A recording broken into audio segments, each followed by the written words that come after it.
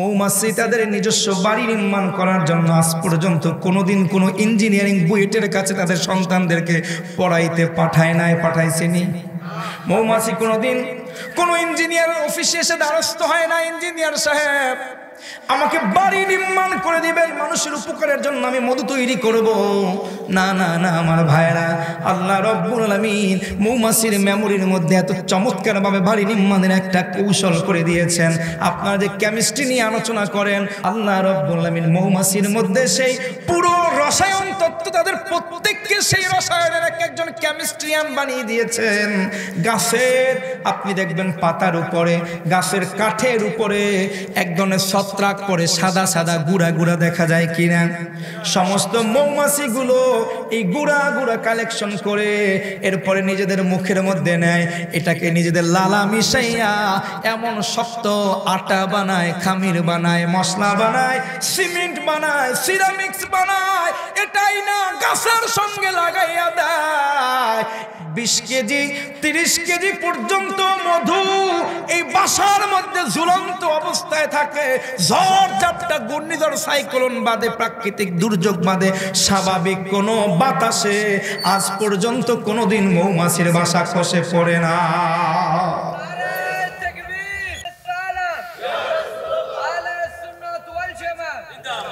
আমার ভাইরা বন্ধুরা, বাবারা, ভালো করে খেয়াল করবেন। আল্লাহ বললেন, মৌমাছিরে, বাসা নির্মাণ করো, মৌমাছি কেমিস্ট্রির মিশ্রণ করলাম। এবার মৌমাছির এক একটা মৌমাছির জন্য আলাদা আলাদা কুঠুরি প্রয়োজন। আমার ভাইরা বন্ধুরা, বাবারা, মৌমাছি বিশেষজ্ঞরা বলেছেন, একটা বাসার মধ্যে এক লক্ষ থেকে দেড় লক্ষ মৌমাছি থাকে, ছোট, বড় মিলিয়ে। এই মৌমাছিদের মধ্যে সবার জন্য আলাদা আলাদা বাসার প্রয়োজন হয়। আলাদা আলাদা এক একটা গর্ত তৈরি করার জন্য তারা প্রত্যেকে জ্যামিতির ব্যবহার করে। এটা ত্রিভুজ নয় চতুর্ভুজ নয়, পঞ্চভুজ নয়।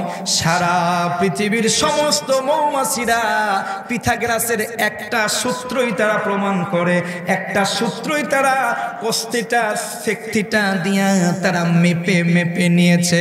তাদের বাসাগুলো হবে সর সরবুজ ছয়টা কোণ বিশিষ্ট, না তিন কোনা না চার কোনা না পাঁচ কোনা বড় আশ্চর্যের বিষয়, আমার ভাইয়ার, আপনি নিজে একটা মৌমাছির বাসা ভেঙে দেখবেন। একটা বাসার থেকে আর একটা বাসার বাহু। একটা বাহুরও পরিবর্তন পাবেন না, ছয়টা বাহুই সমান। আর ছয়টা কোণের মধ্যে, যেহেতু এটা সরবুজ, এখানে সমকোণ হয় না, নব্বই ডিগ্রি কোণ হয় না, এখানে এর চাইতে আরও বড় কোণ হয়। ঠিক কিনা? সমকোণের চেয়ে বড় কোণ হয়, প্রতিটা কোণে সমান। একটা কোণকেও আপনি এক ডিগ্রি কম, এক ডিগ্রি বেশি বানাতে পারবেন।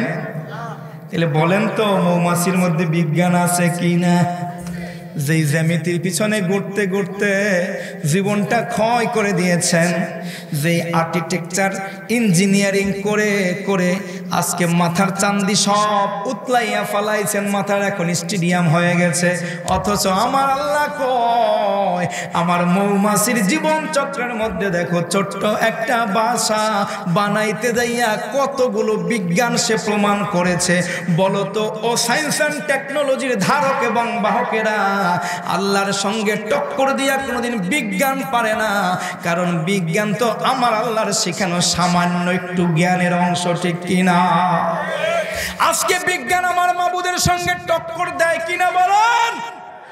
আজকে বিজ্ঞান বলতে চায় আনসিন ইজ নাথিং, আজকে বিজ্ঞান প্রমাণ করতে চায়। মোল্লারা কিছু বোঝে না, মোল্লারা শুধু আল্লাহর এবাদত বন্দিগি নিয়েই থাকে, এরা দিন দুনিয়ার খবর রাখে না। মোল্লারা বলে পাগলা সুরা নহলের আটষট্টি নম্বর আয়াতে তাকা। আমার আল্লাহ, যেই যেই নির্দেশগুলো দিয়েছে, মৌমাছি সেই সেই নির্দেশগুলো পালন করে। আমার আল্লাহ যদি নির্দেশ না দিত, আল্লাহ যদি এখানে মৌমাছির জীবন চক্র তাদের বিজ্ঞান নিয়ে আলোচনা না করত, তাইলে তোরা বলতে পারতি, কোরআনের মধ্যে কোনো বৈজ্ঞানিক ফর্মুলা নাই, কিন্তু মৌমাছি ছোট্ট একটা মধুমক্ষিকা, ছোট্ট একটা পোকার গোটা জীবন চক্রটাই আমার আল্লাহর নির্দেশ অনুযায়ী চলে, তার মানে মাসিটা যদি আল্লাহর আদেশ মানতে পারে, বান্দা হয়ে তোমার আশরাফুল মাকলুকাতের অস্তিত্বটাই ততক্ষণ পর্যন্ত থাকবে না। যতক্ষণ পর্যন্ত না তুমি আমার মাবুদ আল্লাহর বাক্যগুলো না মানবা ঠিক কিনা। পরের জায়গা, পরের জমি, ঘর বানায় রই আমি তো সেই ঘরের মালিক নই, বাবা। আমি তো সেই মৌমাছি তার নিজের ঘর বানাইয়া নিজে থাহে, আর আমি বিরাট বড়। আমার ঘর বানাইতে রাজমিস্ত্রি লাগে টাইস মিস্ত্রি লাগে, ফিটিং মিস্ত্রি লাগে, ইলেকট্রিক মিস্ত্রি লাগে, সিভিল ইঞ্জিনিয়ার লাগে, আর্কিটেকচার লাগে, কন্ট্রাক্টার লাগে কিনা কন? তাহলে কিসের বাহাদুরি? আমার তো আসলে কোনোই বাহাদুরি নাই, আমি তো আসলে দুনিয়ার এই এত এত আল্লাহর ক্ষমতার মধ্যে আমার তো কোনো অবস্থানই নাই, ঠিক কিনা আমার সঙ্গে গাওয়া যাবে না? পরের জায়গা, পরের জমি, ঘর বানায় রই, ঘর বানায় আমি রই, আমি তো সেই বলো, আমি তো সেই সেই ঘরখানা যারা জমিদারি। আমি পাই না তাহার হুকুম জারি, সেই ঘরখানা যার জমিদারি। আমি পাই না তাহার হুকুম জারি। আমি পাই না জমিদারের দেখা। আমি পাই না জমিদারের দেখা। মনের দুঃখ কারে কই? আমি তো সেই ঘরের মালিক নই বাবা। আমি তো সেই আরে জোরে কো না। পরের জায়গা, পরের জমি, ঘর বানায় আমি রই। ঘর বানায় আমি তো সেই বাবা, আমি তো সেই জমিদারের ইচ্ছা মতো দেই না জমি চাষ। তাই তো ফসল ফলে না রে দুঃখ বারো মাস। জমিদারের ইচ্ছে মতো দেই না জমি চাষ। তাই তো ফসল ফলে না রে দুঃখ বারো মাস। আমি খাজনা পাতি সবই দিলাম। আমি খাজনা পাতি সবই দিলাম। তবু জমিন আমার হয় যে নিলাম। আমি খাজনা পাতি সবে দিলাম। তবু আমার নিলাম আমি চলে যে তার মন জোগায়া, আমি চলে যে তার মন জোগায়া দাখিলাই মিলে না সই, আমি তো সেই। বাবা, আমি তো সেই। পরের জায়গা, পরের জমি, ঘর বানায় আমি রই, ঘর বানায় আমি রই, আমি তো সেই। বা আমি তো সেই। ঠিক কিনা বলেন? মৌমাছিকে আল্লাহ বলে, মৌমাছি রে, মৌমাছি চমৎকার করে ঘর বানাই নিলেন। এবার আমার ভাইরান আরেকটু সামনের দিকে আগান। আল্লাহ মৌমাছিকে নির্দেশ দিলেন, মৌমাছি রে, তুমি নিজের ঘর বানাইয়া এখানে তুমি বান্দার জন্য, আমার প্রতিটা বান্দার জন্য উপকারী মেডিসিন রাখবা। আল্লাহ বললেন, সুম্মা কুলি মিন কুল্লি সামারাতি ফাসলুকি সুবুলা রাব্বিকা দুলুলা।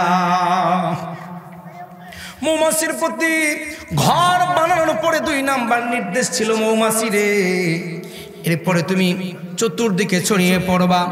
এবং সব ধরনের ফলের ফুল থেকে তুমি রস আহরণ করবা, মধু আহরণ করবা এবং তোমার প্রভুর দেখানো পথে তুমি চলবা। নাম্বার ওয়ান সব ধরনের ফলের, ফুলের মধু আহরণ করবা। মিন কুল্লি সামারত, সব ফলের ফুল থেকে মধু আনবা। কিন্তু তুমি যে রাস্তায় চলবা, সেই রাস্তাটা হবে কার দেখানো? জোরে বলেন না। এবার আমার ভাইরা প্রথমে আমাদের বিজ্ঞান কি বলে? আপনি বলবেন, হুজুর, এত কিছু কার থেকে বলেন? উনিশশো সাল, কত সাল? জোরে বলেন। উনিশশো সালে যিনি নোবেল প্রাইজ পেয়েছেন, তার নাম হচ্ছে কালবান ফ্রান্স এই লোকটা তার জীবনটা গবেষণা করেছেন মূলত এই মৌমাছির উপরে। এবং এই তথ্যগুলো তিনি দিয়েছেন। তার গবেষণার তথ্য থেকে আমি বলছি, এবং আমরা মুসলমান গবেষকরা কোরআনের সাথে মিলাচ্ছি। দেখছি যে লোকটা সারা কার্বন মার্কস উনি সারা জীবন ক্ষয় করে, গবেষণা করে যা কিছু জানলেন, দেড় হাজার বছর আগে সবটাই আল্লাহ কোরআনের মধ্যে দিয়ে রাখছেন সোভান আল্লাহ বলছেন, শোনো, তুমি ঘুরবা এবং সর্বত্র ফলের ফুলের, অর্থাৎ যেই ফুলের নিচে ফল আছে বুঝতে পারছেন? ফলের ফুল হয় না, প্রতিটাই তো ফুল হয়।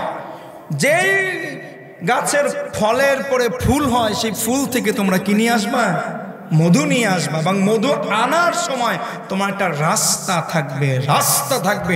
রোড ম্যাপ কখনো অতিক্রম করা যাবে? এবার আমার ভাই, আমাদের প্রকৃতির মধ্যে অসংখ্য ধরনের গাছ আছে। অসংখ্য ফুল প্রস্ফুটিত হয়, এমনকি বিষাক্ত কিছু গাছ, বিষাক্ত কিছু ফল আছে, বিষাক্ত কিছু ফুল আছে।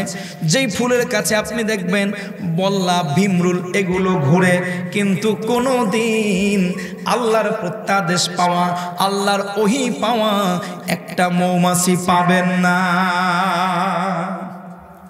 এই মৌমাছিগুলো এখান থেকে মধু সংগ্রহ করে, ফুল থেকে মধু সংগ্রহ করে। মধুগুলো এত দামি। মধুগুলো সংগ্রহ করতে এত কসরত হয়। একটা মৌমাছির জীবন চক্র অ্যানালাইসিস করে দেখা গেছে। একটা মৌমাছি পঞ্চাশ দিনের মতো বেঁচে থাকে গড়ে। কতদিন? পঞ্চাশ দিনের মতো বেঁচে থাকে। পঞ্চাশ দিন তার হায়াতি জিন্দিগিতে একটা মৌমাছি। যে চামচটা আপনার কাছে আছে, ডাক্তাররা বলে পাঁচ মিলির চামচ, চায়ের চামচ, এটা পাঁচ মিলির চামচ। পাঁচ মিলি চামচের অর্ধ চামচ তথা আড়াই মিলি তারা মধু সংগ্রহ করে তাদের বাসার মধ্যে জমা করতে পারে। আমার ভাইরা এই আড়াই মিলি মধু সংগ্রহ করার জন্য একটা মৌমাছি ছোট্ট পোকাটা নব্বই হাজার কিলোমিটার কত বলেন? নব্বই হাজার কিলোমিটার মৌমাছিটাকে আপ ডাউন করতে হয়, চলতে হয়। নব্বই হাজার কিলোমিটার পথ পাড়ি দিয়া আপনার জন্য, আমার জন্য এই ক্ষুদ্র মৌমাছিটা আমার আল্লাহর কমান্ড মেনে এরপরে মধু নির্মাণ করে, মধু তৈরি করে আমার জন্য রেখে দেয় সেপা হিসাবে এই বোতলের মধ্যে। এরপর এখান থেকে, বান্দা, তুমি আহরণ করো, তুমি খাও। বান্দা, আমার আল্লাহ বলছেন, ফিহি শেফা উন লিন্নাস। এই মধুর মধ্যে বান্দা, তোমার রোগের জন্য শেফা আছে কি নাই? ডাক্তাররা বলে কি না? বন্ধুরে দুই নাম্বার বলছিলাম মৌমাছিগুলো নব্বই হাজার কিলোমিটার পথ পাড়ি দেয়। নব্বই হাজার কিলোমিটার পথ পাড়ি দিতে গিয়া একটা মৌমাছিও কোনোদিন রাস্তা ভুল করে না, একটা মৌমাছিও কোনোদিন পথ ভুল করে না। মৌমাছিটা যেই বাসার, ওই বাসার মধ্যেই চলে। আমার আল্লাহ বলছে, আমি আল্লাহ তোমাকে যেই রোটেশন দিয়ে দিয়েছি রুট ম্যাপ দিয়ে দিয়েছি, যেই লোকাল লাইন তৈরি করে দিয়েছি, তুমি সেই লাইন দিয়া চলবা। ওই ফ্রান্সিসকো তিনি বলেন কাল ব্রেন ফ্রান্সিস, যিনি উনিশশো সালে যিনি নোবেল প্রাইজ পেয়েছেন মৌমাছির জীবনচক্র অ্যানালাইসিস করে, তিনি বলেন, শোনো, প্রতিটা মৌমাছি যে পাগুলো আছে, এই পাগুলোর বাইরে মাথার উপরে চোখের পাশ দিয়া, চোখের পাশ দিয়া দুইটা এন্টিনার আছে। এই দুইটা এন্টিনিয়া শুধুমাত্র তরঙ্গ দিতে থাকে, কাঁপতে থাকে কাঁপতে থাকে। এই দুইটা এন্টিনার হলো টাওয়ারের কাজ করে, দুইটা এন্টিনারের সঙ্গে। দশ কিলোমিটার দূরে, পাঁচ কিলোমিটার দূরে, তিন কিলোমিটার দূরে। তার যে রানী মৌমাছি আছে, তার যে প্রধান, তার যে নেতা, আমরা সোসাইলজির আলোচনার মধ্যে আসলে তার না রানী সম্পর্কে আলোচনা করব। রানীর এন্টিনারের সঙ্গে এই এন্টিনারের কানেকশন থাকে। কোনো দিন একটা মৌমাছি ভুল করে অন্য কোনো বাসায়ও যায় না, আর অন্য কোনো পথেও যায় না, বাসা হারাইয়াও যায় না। কারণ আমার আল্লাহ তার রুটেশন তৈরি করে দিয়েছে, পঞ্চাশ দিনের জীবনের মধ্যে তিনি সব সময় রাস্তা মোতাবেক থাকে। এখান থেকে কি বান্দার শিক্ষা নেওয়া যায় না? আমার আল্লাহ বান্দার জন্য একটা রাস্তা দেশে কিনা বলেন? এটাই আপনার জন্য চলমান জীবনের রোটেশন আমার আল্লাহ মৌমাসিরে যেমন একটা রাস্তা নির্ধারণ করে দিয়েছে, নব্বই হাজার কিলোমিটার পথ চললেও একদিনের জন্য ভুল করে না। আর যদি কোনো কেউ ভুল করেই ফেলে, তার জীবনটা বাঁচে না। যদি কোনো বাসায় অন্য বাসার মধু পোকা, মধু নিয়ে আগমন করে, প্রতিটা মৌবাসার সামনে কতগুলো দারোয়ান থাকে দারোয়ানরা তাকে ধরে, কল্লাটা আলাদা কইরা জায়গার মধ্যে হত্যা করে ফেলে। আমার বাইরা এত কঠোর আইন, বান্দার জন্য আমার আল্লাহ একটা রুটেশন দিয়ে দিয়েছিলেন। প্রতিদিন বান্দা সুরাতুল ফাতেহার মধ্যে পড়ে ইহিদিনা সিরাতাল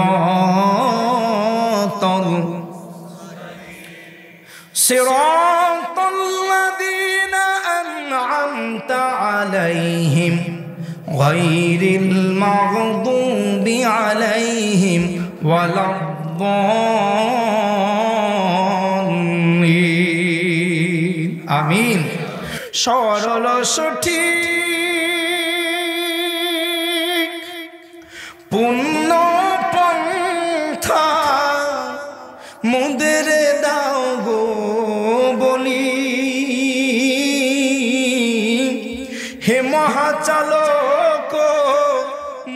মোদের কখনো করোনা বিপথগামী, অনন্ত সীম, প্রেমময় তুমি বিচার দিনের। আমার ভাইরা রে, আমার মালিক আল্লাহ মৌমাছিকে রুটেশন করে দিয়েছেন, ঠিক কিনা? মৌমাছির জন্য আল্লাহর নির্দেশ, মৌমাছি রে। ফাসলুকি সুবুলা রাব্বিকা যুলুলা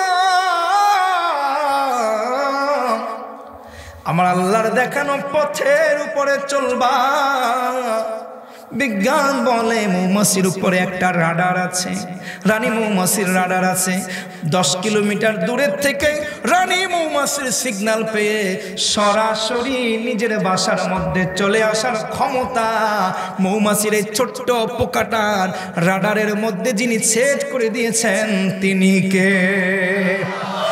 পাগলা, তোরা কথা বলার জন্য মার্টিন লুথার মোবাইল আবিষ্কার কে মার্টিন লুথার টেলিফোন তৈরি করেছেন। সিগন্যালটা পৌঁছিয়েছেন। রে পাগলা, সিগন্যালের প্রথম ধারণা, সিগন্যালের প্রথম ধারণা তোরা বলো মার্টিন লুথার দিয়েছেন। আমরা বলি, না রে, না। আমার আল্লাহ রাব্বুল আলামিন আমার নবীর মাধ্যমে দেড় হাজার বছর আগে সিগন্যাল যে এক জায়গা থেকে আর এক জায়গায় দেওয়া যায়, তোমাদের যে টাওয়ারের মাধ্যমে ঢাকা টাওয়ারের যে ঢাকার পাশে যে ফোনটা আছে, ওই ফোনে যদি একটা কথা বলা হয় সিগন্যালটা তার টাওয়ারে পৌঁছে যায়। তার টাওয়ার থেকে কুমিল্লা টাওয়ারে পাঠায়, কুমিল্লা টাওয়ার থেকে তোমার হাতের মোবাইলটার মধ্যে পাঠায়। অল্প সময়ের জন্য সিগন্যালটা পৌঁছানোর মাধ্যমে আমরা কথা বলি মেসেজ আদান প্রদান করি চ্যাটিং করি ইমেল করি। পাগলা রে! মার্টিন লুথারের ক্রেডিট দেওয়ার মতো সময় মুসলমানদের নাই। এই জন্যই মুসলমানেরা বলে, বিজ্ঞান মুসলমানদের মধ্যে বলে, বিজ্ঞান নাই। আরে পাগলা রে, আমরা তো বলি, বিজ্ঞানীদের মহাগুরু আঙ্গ নবীজি এমন একখান দয়াল নবী টোকাই হাইবানি। আমার ভাড়া বন্ধুরা বাবা সিগন্যাল যায় আজকে মার্টিন লুথার সিগন্যালকে ক্যাশ করে ধারণ করে মোবাইলের ধারণা দেয়। কিন্তু আমার নবী বলে, শোনো, আমার আল্লাহ রব্বুল আমিন প্রতিটা মৌমাছির মধ্যে এক একটা রাডার সেট করে দিয়েছেন। রাডারের মাধ্যমে যোগাযোগ রাখে আজ পর্যন্ত কোনো মৌমাছি তার পথ হারায় না। যিনি পথ হারায়, তিনি দুর্বল, তিনি প্রতিবন্ধী, তিনি অকেজ হয়ে গেছেন, তার আর বেঁচে থাকার অধিকার নাই। সে যেখানে যাবে, সেখানে গিয়েই সে শেষ।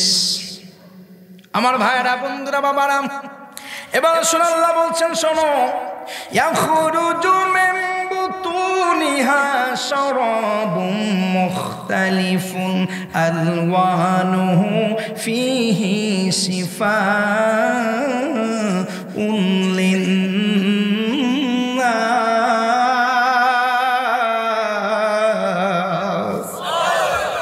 বিজ্ঞান, এত জ্ঞান, এত আর্কিটেকচারাল জ্ঞান, এত সিভিল ইঞ্জিনিয়ারিং জ্ঞান। এই যে মাথার মধ্যে রাডার ফিট করে এই যে প্রতিটা মৌমাছিকে ফুলে ফুলে ভ্রমণ করানোর পিছনে কারণটা কি জাননি? আল্লাহ এবার বলছেন, ও বান্দা, তোমার জন্য বলছেন, ও আমার বালিখারার কোরআন সুন্না প্রেমিক মুসলমান ভাইয়েরা, ও আমার বালিখারার ওয়াজ মাহফিলে আসা তরিকতপন্থী ভাইয়েরা, তোমার জন্য আল্লাহ বলছেন, আমি মৌমাছির পেট থেকে, মৌমাছির পেট থেকে তোমাদের জন্য এমন এক ধরনের রস বের করে নিয়ে আসি। যেই রসটা বিভিন্ন রঙের হয়ে থাকে আলোয়ানুহু এটা বিভিন্ন রঙের হয়ে থাকে। রং বেরঙ্গের রস বের করে আনি। কেন আনি জাননি? ফি শিফা লিন্নাস মানুষের মধ্যে রোগ পরীক্ষা স্বরূপ আমি আল্লাহ রোগ চাপাইয়া দেই। আমি আল্লাহ মানুষের ধৈর্য পরীক্ষার জন্য রোগ সে পাইয়া দেই।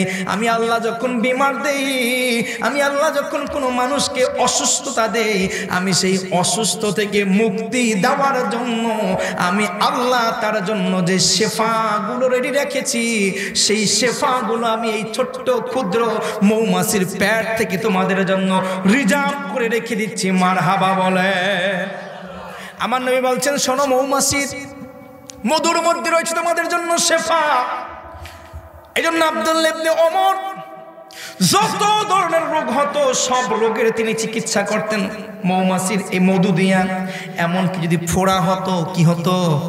বখারের হাদিস, আব্দুল ইবনে ওমরের ডাক্তারি, আব্দুল্লাহ ইবনে ওমরের প্রেসক্রিপশন হচ্ছে আমার প্রেসক্রিপশন না ভাইরা আব্দুল্লাহ ইবনে ওমর যদি গায়ের মধ্যে ফোড়া হতো, ফোড়া কি ভালো না খারাপ?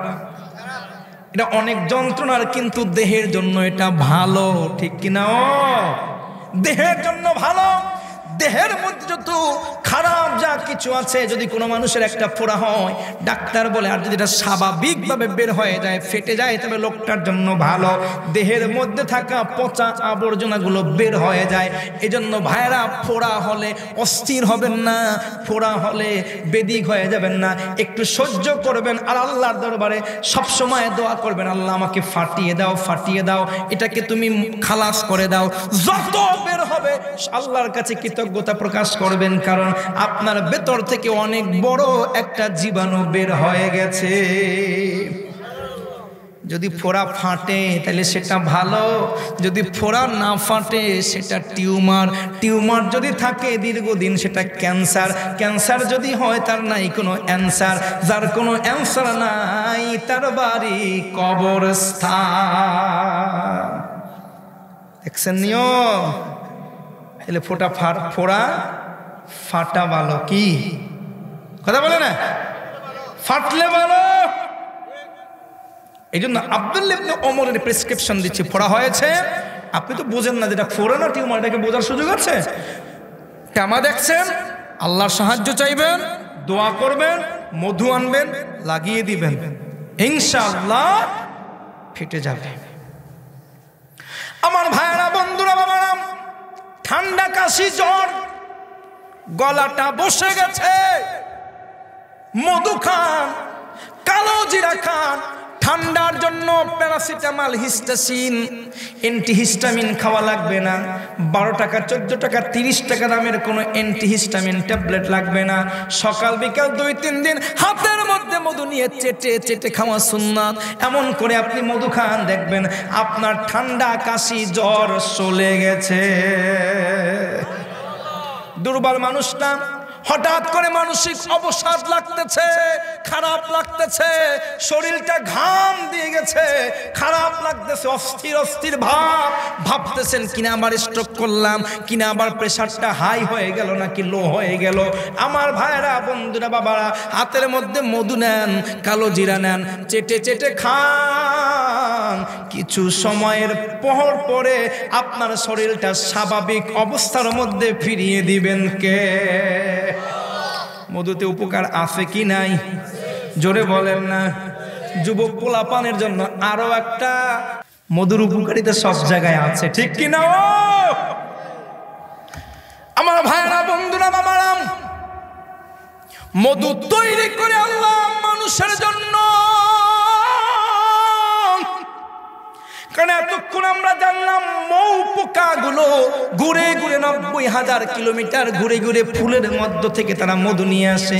কিন্তু আল্লাহ শেষ বেলায় বললেন, ফিহি শিফা উল্লিন্নাস আল্লাহ বলেন, না ফিহি শিফা উল্লিন্নাহল অথবা আল্লাহ বলেন নাই ফিহি রিস্কুন নাহল। এটা মৌমাছিদের খাবার, এটা মৌমাছিদের রিজিক। ঠিক কিনা কারণ মৌমাছি মধু বানায় খাইব কেটা মৌমাছি খাইব না? না হ্যাঁ রিজি করার কথা ছিল না। কিন্তু আল্লাহ কয় পাগলা রে। পঞ্চাশ দিনে নব্বই হাজার কিলোমিটার। ও পাগলা, একটু ভাইবা দেখো কত দূর, কত সফর করতে হয়, কত পরিশ্রম করতে হয়, কত পরিশ্রম কইরা ছোট ছোট পোকাটা তোমার জন্য সামান্য আড়াই মিলি তারা রস তৈরি করে, শেফার ওষুধ তৈরি করে। কিন্তু আল্লাহ বলে, রে, এই মধুটা আমি ওর জন্য না এই মধুটা আমি রিজার্ভ করে রেখেছি। আমার বান্দার জন্য নাস নাস নাস। এই নাসের জন্য রাখছি, মানুষের জন্য রাখছি।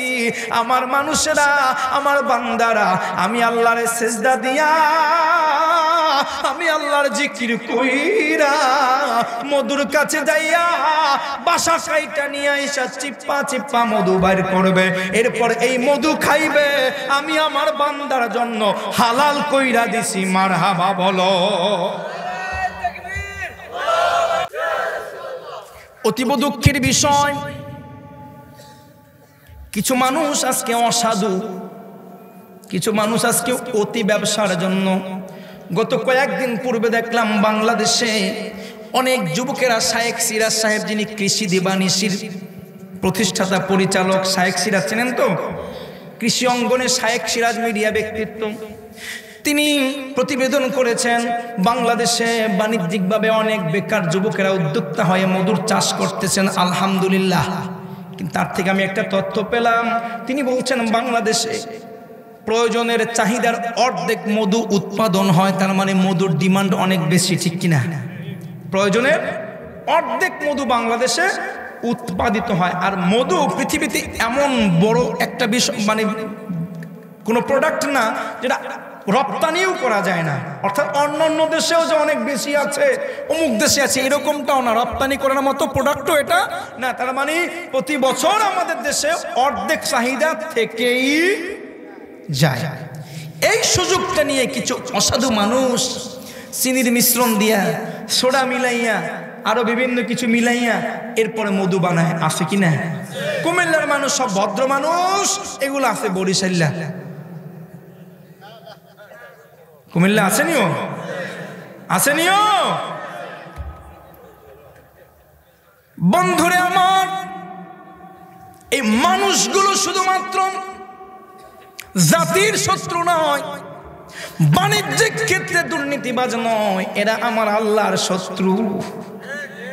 প্রমাণ করে দিচ্ছি, এই মানুষগুলোকে চিহ্নিত করবেন, এই মানুষগুলোকে শাসন করবেন, কারণ এই মানুষগুলো আমার আল্লাহর সৃষ্টি মৌমাছিকে অবজ্ঞা করছে, মৌমাছির কষ্ট, পরিশ্রমকে তারা ধ্বংস করছে আল্লাহ, এত কষ্ট করে তার কুদরত বান্দার জন্য তৈরি করছে।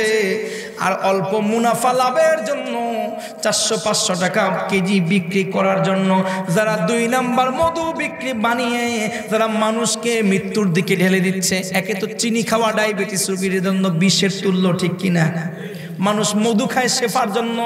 ডায়াবেটিস রুগীকেও আমরা, ডাক্তাররা বলে যে মধু খাইলে সমস্যা নেই, সুগার বাড়বে না। কিন্তু দিয়ে রাখছে তো পাঁচ কেজি চিনি, খাওয়ার লগে লগে সুগার উঠতে তো মানুষটাই। তাইলে এই যে দুর্নীতিবাজ মধু ব্যবসায়ীরা, এরা তো পক্ষান্তরে মানুষের হত্যাকারী, ঠিক কিনা? ডায়াবেটিস রুগীদেরকে যদি বারবার মধু এই মধু খাওয়ানো হয়, দুই নাম্বার মধু, চিনিওয়ালা মধু, তাহলে তো লোকটার সুগার বেড়ে লোকটা মারা যাবে। মানুষকে হত্যা করছে, আল্লাহর কুদ্দতের সাথে বিশ্বাসঘাতকতা করছে বেইমানি করছে। এই জন্য এদেরকে ধরতে পারলে ধোলাই করে এরপরে ভোক্তা অধিকারের কাছে দিয়ে দিবেন। কারণ এরা দেশ, জাতি, আল্লাহ এবং প্রকৃতির শত্রু, ঠিক কিনা বলেন? এদের বিরুদ্ধে প্রতিবাদী হবে। ছেড়ে দিবেন না। বলবেন ওদের গরিব মানুষ থাকগা, করিয়া খাগা না, এরা কিন্তু মানুষের শত্রু, জাতির শত্রু, ঠিক না? এবার আসুন আমার ভাইয়ের, আমরা শেষ করে দিব, দেড় ঘণ্টা হয়ে গেছে। আল্লাহ রাব্বুল আলামিন বলছেন, শোনো, আমি আল্লাহ তাআলা মৌমাছির মধ্যে তোমাদের জন্য যে বিষয়গুলো দিয়ে রেখেছি, আমার আল্লাহ বলছেন, শোনো, ইন্না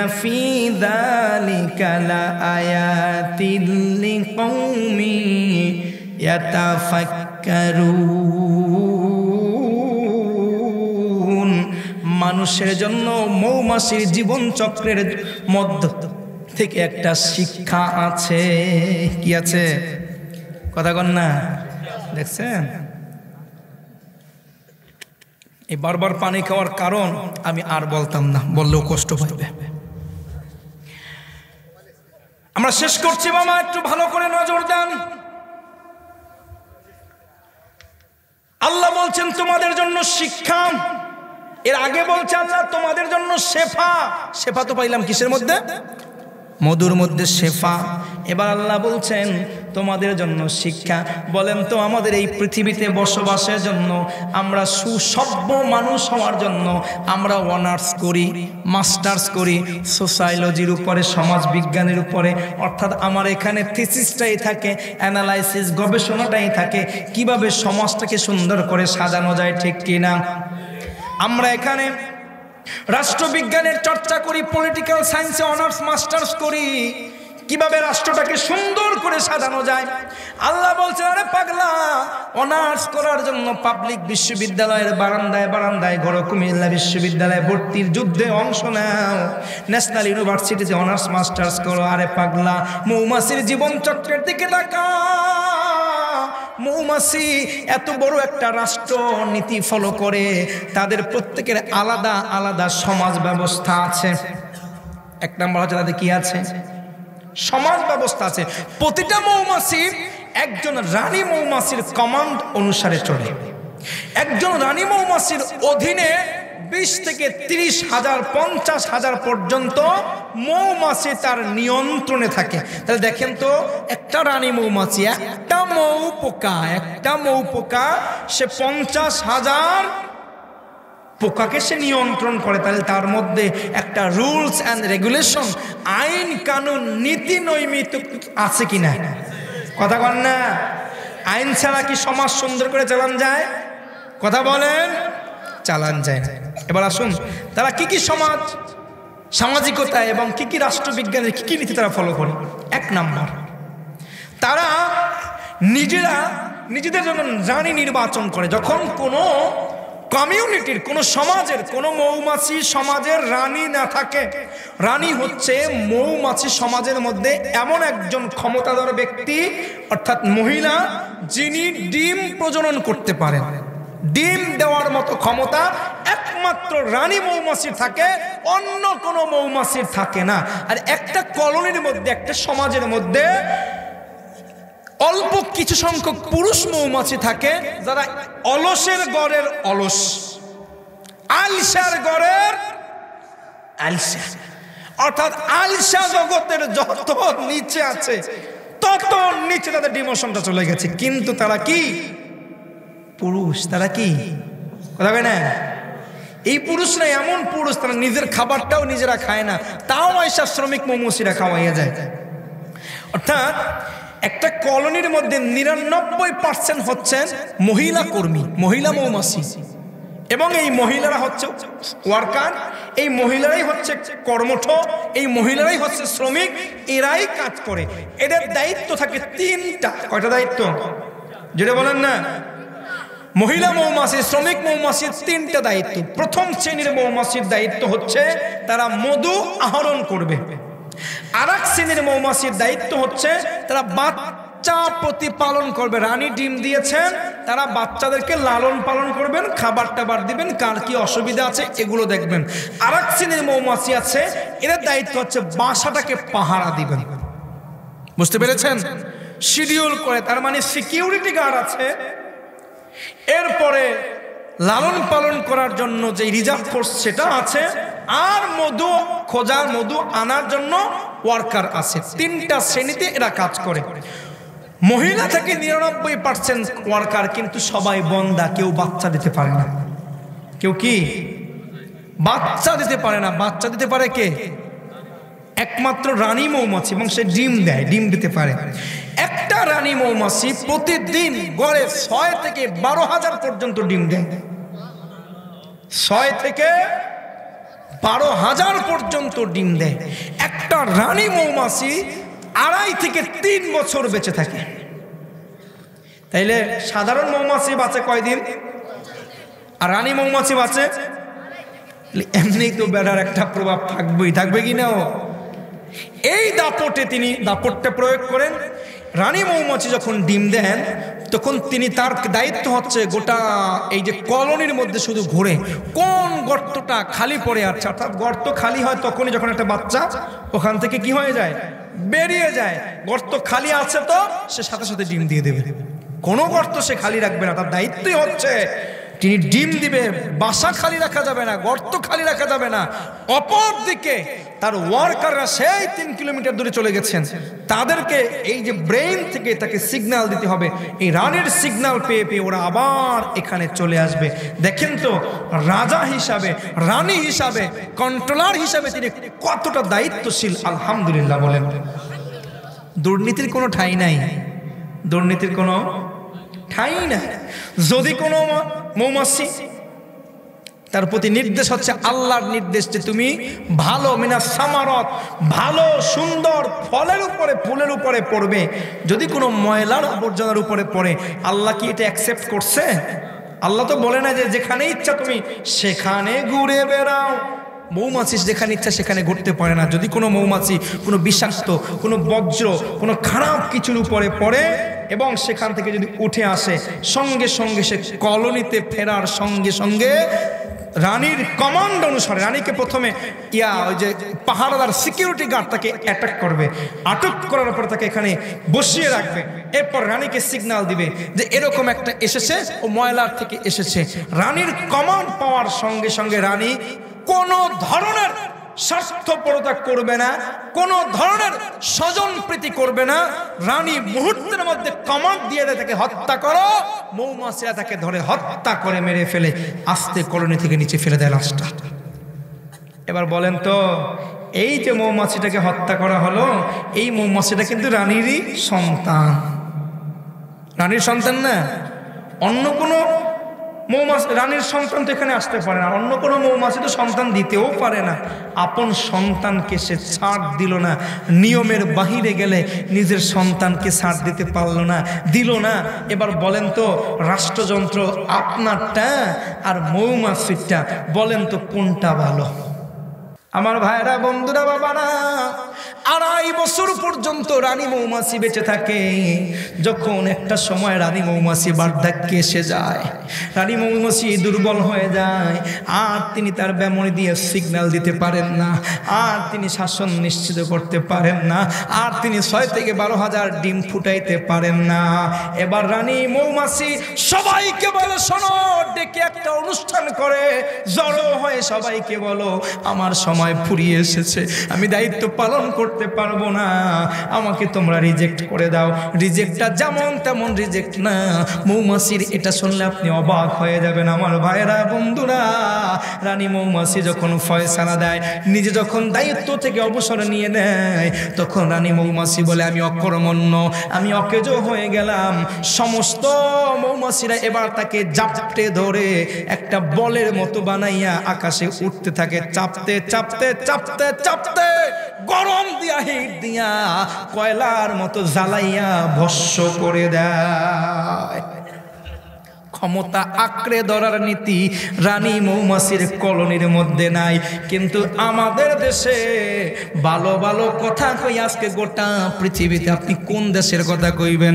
যেই দেশের দিকে তাকাবেন, গণতান্ত্রিক দেশে মানুষের অধিকারের কথা বলে বলে রাষ্ট্র ক্ষমতায় যাওয়ার পরে আজন্ম ক্ষমতা টিকাইয়া রাখার জন্য অত্যাচার জুলুমার স্টিম রোলার চলে কিনা বলে?